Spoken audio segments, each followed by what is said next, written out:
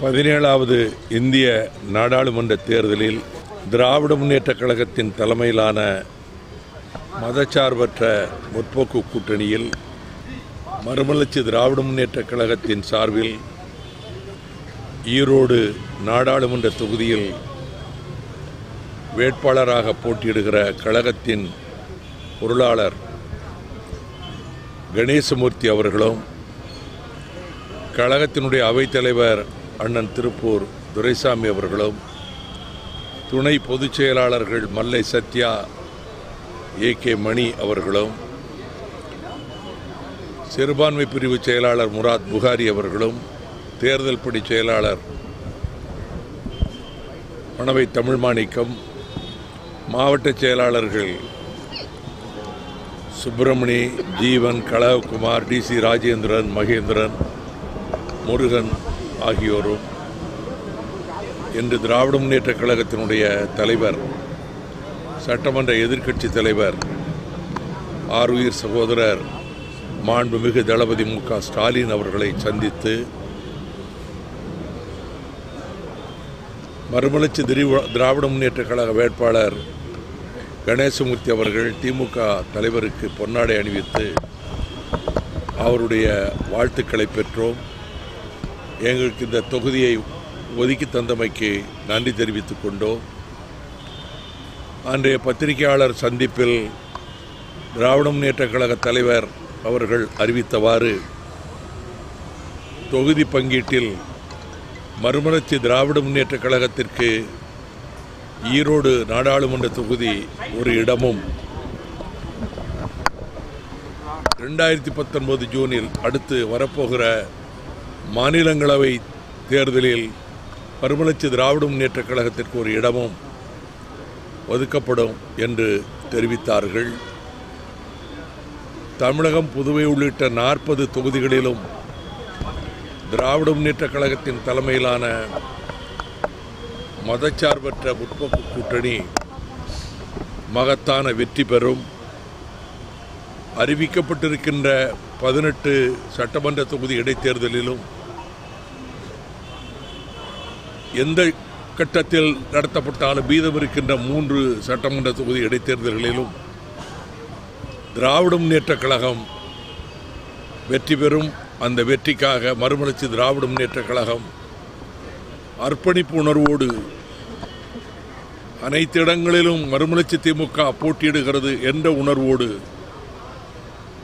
நாங்கள் முனைந்து செயல்படுவோம் வெற்றிக்கு பாடுபடுவோம். உறுதியாக வெற்றி மதச்சார்பற்ற முற்போக்கு கூட்டணிக்கு வாக்காளர் பெருமக்கள் வழங்குவார்கள்.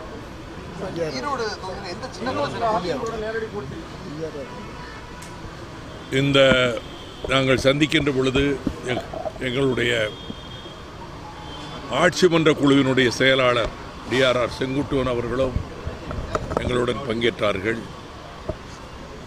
இந்திய நாடாளுமன்றத்திற்காக நடைபெறுகின்ற தேர்தலில் மாநில கட்சிகளும் காங்கிரஸ் கட்சியும் இணைந்து அரசமைக்கக்கூடிய தீர்ப்பை இந்திய நாட்டினுடைய வாக்காளர் பெருமக்கள் வழங்குவார்கள். மீண்டும் பாரதிய ஜனதா கட்சி தலைமையிலான ஆட்சி மத்தியில் அமைவதற்கு வாய்ப்பே இல்லை. அதான் இன்றைய வாக்காளர்களுடைய மனநிலை. தமிழகத்தை பொறுத்தமட்டில் இந்திய நாட்டினுடைய தலைமை அமைச்சர் மாண்புமிகு நரேந்திர மோடி அவர்கள் காவிரி தீர பிரச்சனையிலும் முல்லைப்பெரியாறு பிரச்சனையிலும்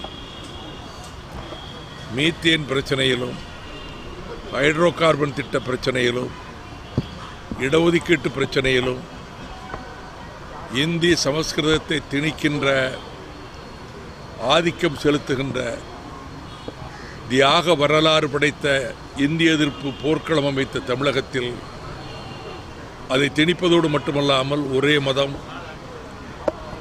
ஒரே மொழி ஒரே கலாச்சாரம் அதுதான் ஒரே நாடு என்ற இந்துத்துவா தத்துவத்தை நிறைவேற்ற துடித்து கடந்த ஐந்தாண்டுகளில் அதற்கான பல அநீதியான செயல்களில் ஈடுபட்டு மதச்சார்பின்மைக்கு குரல் கொடுத்த அறிஞர்கள் படுகொலை செய்யப்பட்டு மதச்சார்பின்மைக்கு அடியோடு வேட்டு வைத்து தகர்க்கின்ற பேரபாயம் சூழ்ந்திருக்கிற நிலையில் இந்திய நாட்டினுடைய எதிர்காலத்தை பாதுகாக்கவே மாநில கட்சிகளும் காங்கிரசும் இணைந்த ஆட்சி அமைய வேண்டும் என்று நாங்கள் விரும்புகின்றோம்.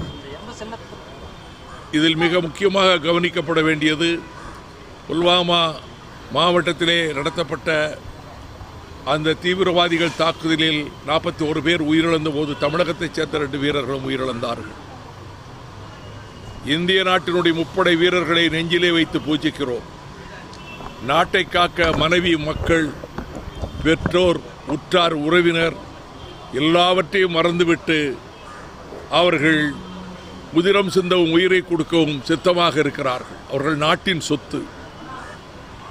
ஆனால் புல்வாமா மாவட்ட சம்பவத்துக்கு பிறகு சரிந்து கொண்டிருந்த எங்கள் செல்வாக்கு உயர்ந்து விட்டதென்று கர்நாடகத்தைச் சேர்ந்த பாரதிய ஜனதா கட்சி தலைவர்களில் ஒருவரான எடியூரப்பா சொன்னது. அவர்கள் இதை கொண்டு இதை இந்த தாக்குதல் சம்பவத்தை கொண்டு வாக்குகள் வாங்கி நாங்கள் வெற்றி பெற்று விடுவோம் என்று சொல்லுகிற கருத்து அவருடைய கருத்தாக நான் கருதவில்லை. நரேந்திர மோடி அவர்கள் கருத்தைத்தான் பாரதிய ஜனதா கட்சியினுடைய கருத்தைத்தான் அவர் பிரதிபலிக்கிறார். ஆனால் ரஃபேல் விமானங்கள் வாங்குகிற அந்த பிரச்சனையில் ஊழல் நடைபெற்றிருக்கிறது.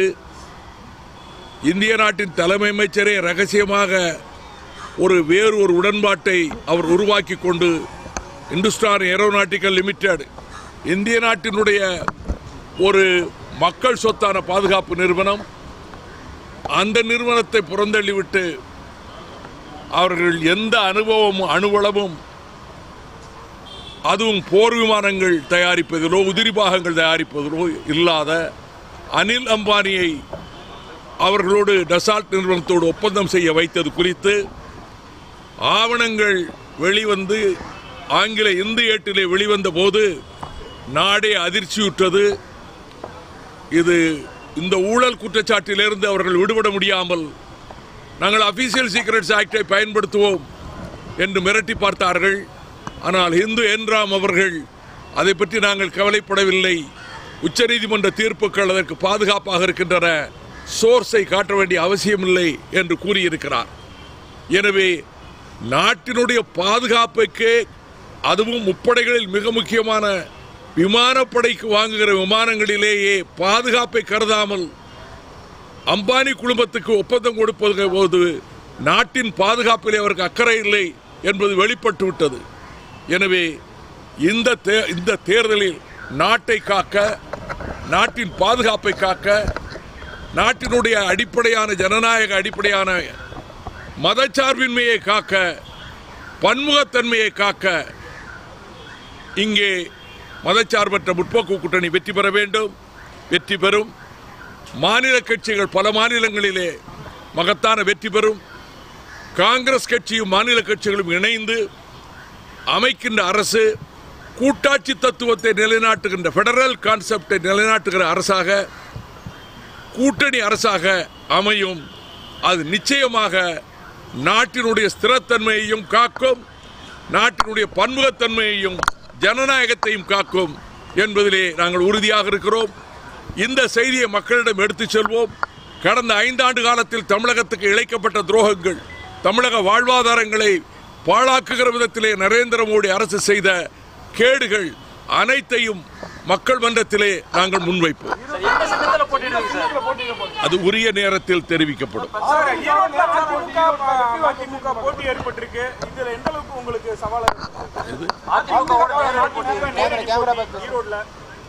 அனைத்து இடங்களிலும் திமுக தலைமையிலான மதச்சார்பற்ற முற்போக்கு கூட்டணி நாற்பதுக்கு நாற்பது என்று ரெண்டாயிரத்தி நாலாம் ஆண்டு தேர்தல் முடிவுகள் தான் இந்த தேர்தல் முடிவுகளாக அமையும்.